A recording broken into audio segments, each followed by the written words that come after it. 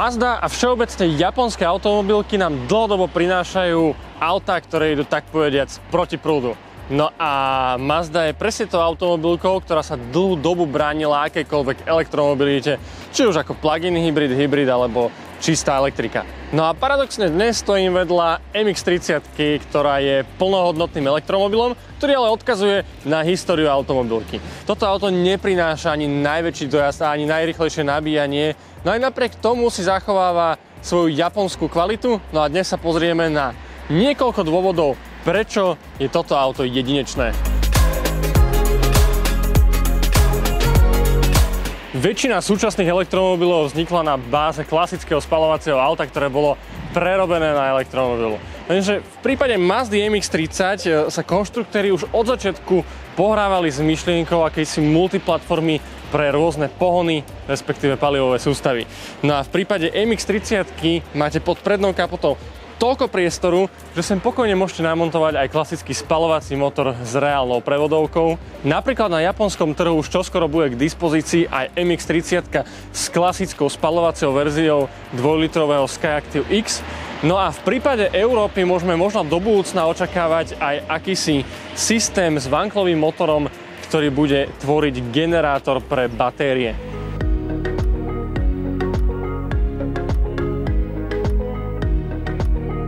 Dizajn novej Mazdy MX-30 pôsobí skôr ako futuristické vozítko, no a o pozornosť v prípade tohto auta núdza nebude.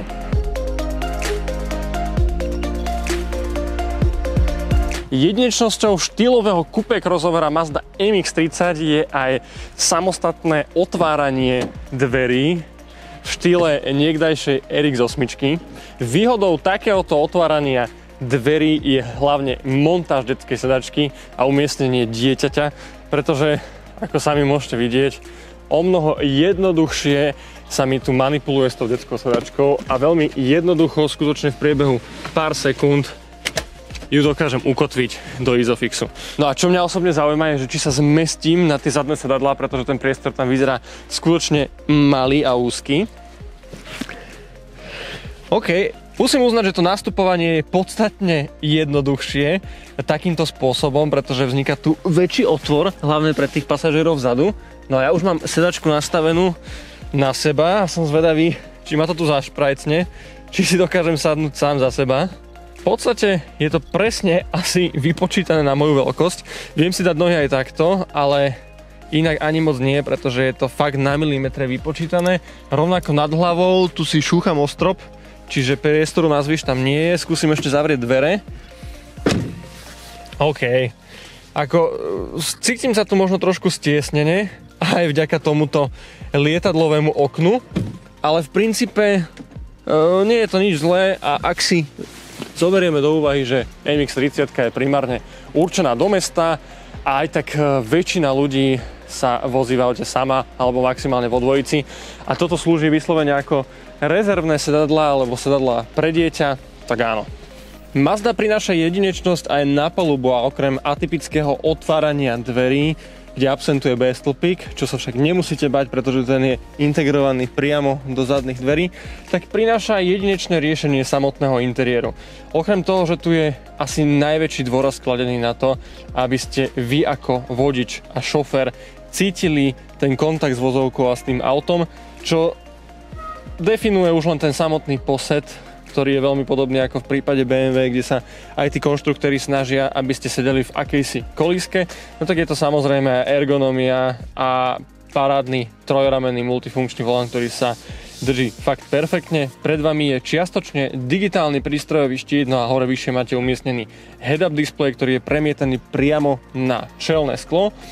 Samotný displej infotainmentu sa nesie v znamení jednoduchej grafiky, čo ja osobne oceňujem, pretože vás zbytočne nerozptiluje a je umiestnený v takej ideálnej výške, aby ste boli schopní periférne stále a naďalej vnímať cestu. Najväčšou inováciou je však samotný panel klimatizácie, ktorý je jednoduchý, je dotykový. Po bokoch máte klasické tlačidlá na ovládanie a reguláciu klimatizácie, čiže máte na výber hneď niekoľko možností, ako ovládať túto klimatizáciu a toto riešenie sa mne osobne páči. E, taktiež je tu otočný ovládač, prostredníctvom ktorého ovládate displej infotainmentu, čo si myslím, že je štandardom. No a za zmienku stojí aj zaujímavé spracovanie materiálov a obloženie interiéru a dekor v podobe korku, ktorý odkazuje nielen na ekologickú stránku tohto auta, ale taktiež aj na históriu automobilky Mazda, ktorá začínala práve výrobou korku.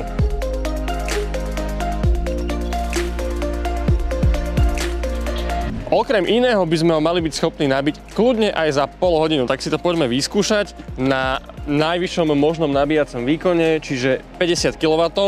Máme zhruba 20% kapacity batérie. To je podľa mňa taká tá štandardná doba, kedy prídete k tej nabíjačke. Tak, auto sa nám nabíja, no a poďme si dať zatiaľ obed.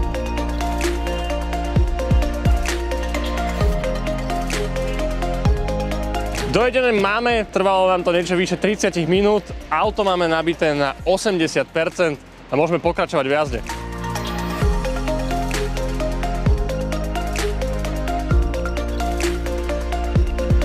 A dojazd? No, podľa údajov automobilky 200 km. Nám sa počas testu podarilo prejsť 150 km v meste. Pokiaľ som sa veľmi snažil, tak sme sa dostali na úroveň nejakých 160 km na diálnici ten dojazd e, klesne na úroveň zhruba 100 km. A to z toho dôvodu, že tá spotreba priemerná sa zvýši na 29 kWh na 100 km. A teraz už vidím všetkých tých kritikov, ako v tomto momente toto auto na dobro odpísali. Ale je treba si uvedomiť, že MX-30 je určená do mesta. A koľko kilometrov prejdete v meste reálne počas bežného dňa? Je potrebné dodať, že auto sme testovali v zime, kedy dojazd trochu klesne. Pri našich prvých jazdách v lete sa nám podarilo prejsť viac ako 200 km. MX-30 má navyše vlastný termomanagement batérie, ktorý sa stará o jej ideálnu teplotu. Mazda MX-30 je cieľená primárne pre mestské prostredie, o čom svedčí v podstate aj kapacita akumulátora. A prečo je tak nízka? Táto hodnota tých 35,5 kWh je ako keby taká zlatá stredná cesta medzi ideálnou hmotnosťou vozidla a tým, čo vám tento akumulátor vie poskytnúť. Čiže pokiaľ máte možnosť nabíjať priamo doma, tak MX-30 vás v konečnom dôsledku nebude nijak zásadne obmedzovať. E, ten nabíjací výkon je spomínaných 50 kW, takto nabijete auto z 20 na 80% za zhruba pol hodiny, zo 6 na 100% nám to trvalo zase hodinu aj pár minút. No a pokiaľ by ste nabíjali doma na wallboxe, tak v závislosti od jeho výkonu je to niekde na úrovni okolo 3-3,5 hodiny. Ja som sa rozhodol, že v prípade MX-30 preveríme aj samotnú rekuperáciu a tú spotrebu pri jazde do kopca a naopak z kopca. Čiže aktuálne som e, vyrazil na Bratislavskú kolibu z Ošancovej ulice. Mám nabité 45% kapacity akumulátora, dojazd 70 km a tá spotreba sa mi pomaly zvyšuje. Teraz sme na úrovni 33 kWh, podľa mňa to pôjde teraz cestou hore ešte vyššie.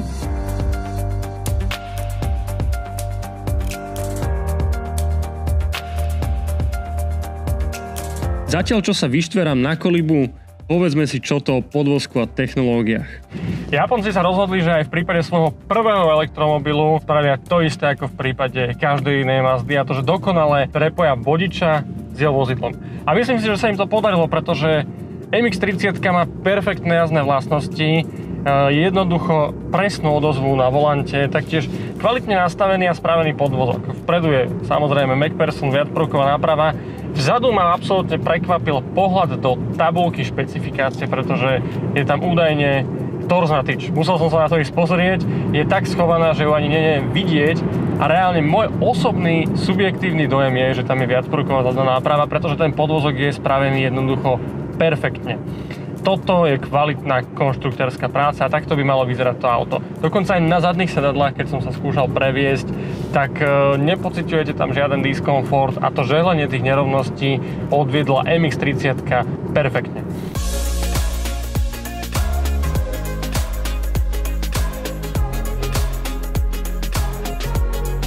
Vráťme sa späť k tomu precíteniu toho auta, pretože to konštruktéry dosiahli aj použitím zvuku. Lebo povedzme si úprimne, ako vnímate jazdu a rýchlosť. No vnímate ju hlavne zvukom, zvukovým prejavom motora. Ale v prípade elektromobilov je to o to náročnejšie, pretože ten zvuk tu musí byť nejako generovaný. Áno, sú elektromobily, ktoré generujú zvuk do exteriéru, to je kvôli bezpečnosti, ale Mazda MX-30 generuje zvuk aj do interiéru a je relatívne dosť počuť, pretože pokiaľ ja teraz agresívnejšie zošliapnem plynový pedál, normálne počujem, že to auto mi dáva spätnú väzbu toho krútiaceho momentu, že niečo sa s ním deje. Keď ja teraz rýchlim trošku jemnejšie, tak počujem ten zvuk, ale teraz je intenzívnejší. A presne toto sa mi páči, pretože dodáva to taký feeling inak mŕtvemu zrýchleniu toho elektromobilu. A presne niečo takéto by som uvítal aj vo všetkých ostatných elektromobiloch.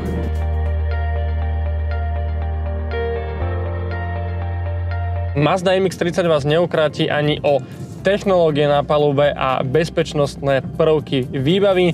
Okrem všemožných asistenčných systémov ako sledovanie mŕtvého uhla, adaptívny tempomat, udržiavanie vozidla v jazdnom pruhu, tu nechýba ani safety brake, či dokonca 9 airbagov. Pred vami je spomínaný head-up display, ktorý som už raz pochválil, ale špecifickú pozornosť by som venoval práve predným full LED adaptívnym svetlometom, ktoré síce nevyrezávajú tak dobre ako nemecká prémia, pretože je tu tých segmentov a modulov o čosi menej, ale tá intenzita toho svetla, ten svetelný kúžel je doslova ohromujúci. Ja musím povedať, že eh, v rámci lediek v tejto cenovej kategórii má Mazda tie najsilnejšie a najvýkonnejšie svetlá.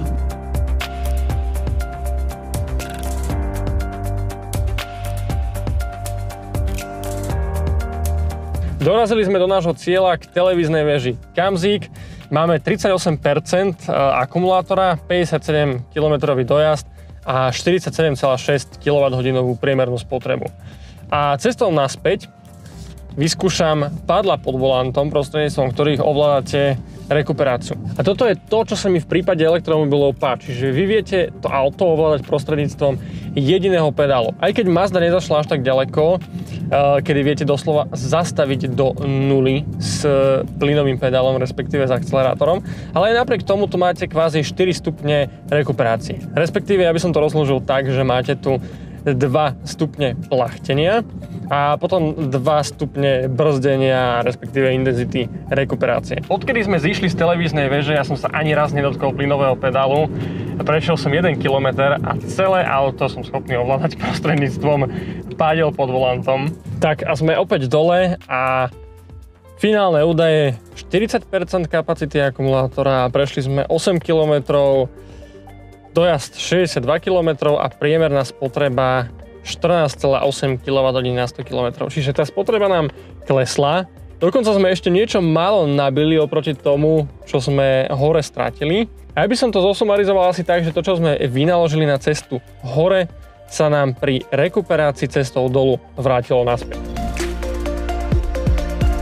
Mazda opäť ukázala, že plávať proti prúdu sa oplatí. Navyše s limitovanou akciou si prvých 50 zákazníkov okrem MX-30 odniesie aj vlastný wallbox do domácnosti či nabíjaciu kartu od ZSE na rok úplne zadarmo.